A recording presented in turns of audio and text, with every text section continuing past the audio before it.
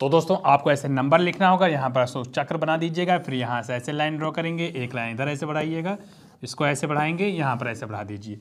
इस to number वाला भी लाइन आप ऐसे आगे के साइड में बढ़ाते जाइएगा दोस्तों।